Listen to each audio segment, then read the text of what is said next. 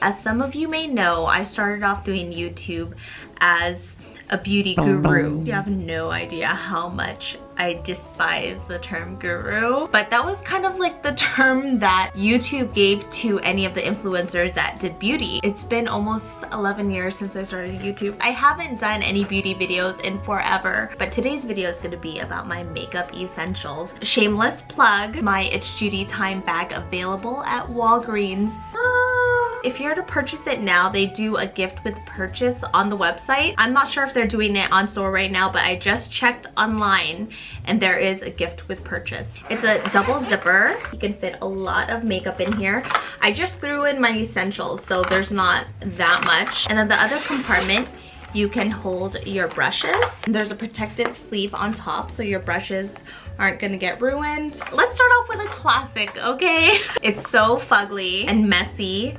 Um, but this is like my cult fave back in the day. I don't know if it is still like the buzz now, but the Wet n Wild Ultimate Brow Kit. It's well loved and well used. So this one's supposed to be like a clear gel to kind of set the hairs. I never use this. I just use these two is what I use for my brows. I'm not a brow expert, avi. This is a product I always go back to and I like using different brow stuff but like sometimes I'll use Anastasia's brow definer is great. This is so good. It has a spoolie connected to it. The other one I like is Makeup Forever. The Aqua Brow, it's waterproof.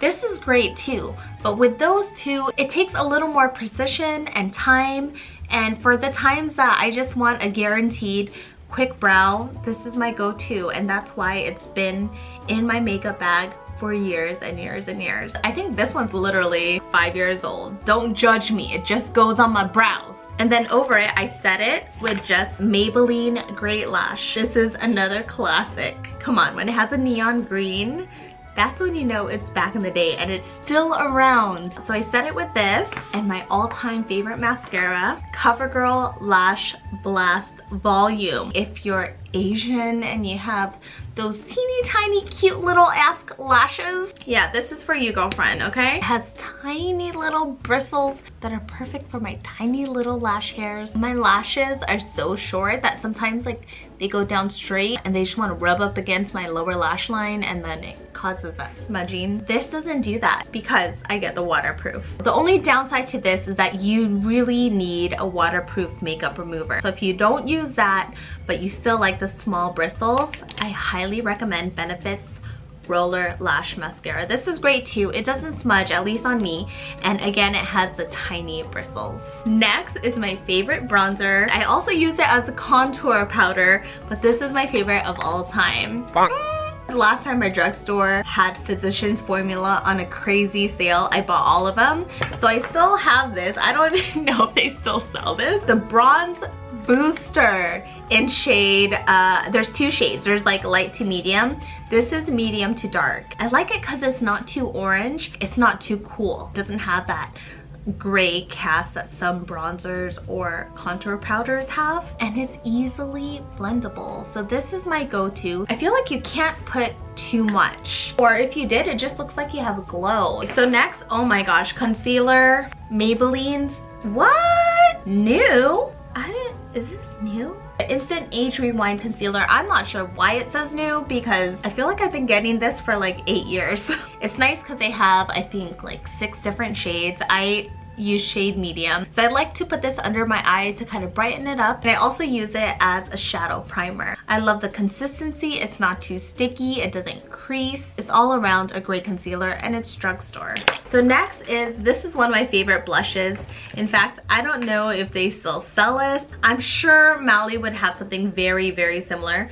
But this is the Mally Beauty Blush in Georgia Peach. Such a pretty everyday shade. It's not too flashy, it's not too bright. So I like to put a little bit on the apples of my cheeks. I blend it out with the um, bronzer pretty.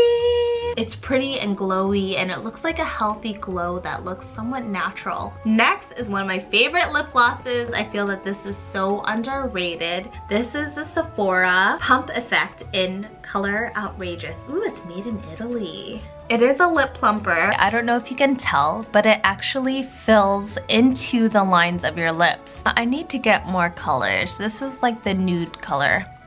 You know, actually, I'm just gonna put this on by itself because I did put a lip liner earlier. This by itself is beautiful.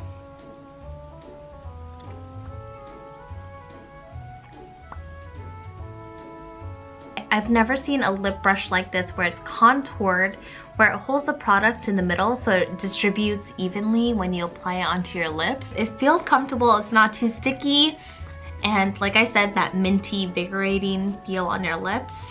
It's like the cherry on top. For lip liner, this one I've only known for under a year, but this one is so awesome. Smashbox Always Sharp Lip Liner, and this is in shade Nude Medium. It's pretty innovative because when you twist it, it sharpens itself. But I love it because it really is smudge proof. So we're gonna compare it to the drugstore. Up here I have Smashbox, and then down below I have the Flower Beauty um, lip liner. They pretty much apply on the same. It feels smooth, easy to apply. It glides nicely, but here's the difference. Once it sets, you kind of see which one will fade and which one will stay put. So as you can see,